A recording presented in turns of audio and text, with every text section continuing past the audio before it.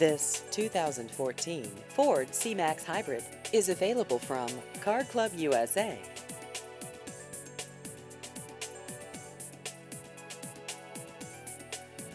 This vehicle has just over 24,000 miles.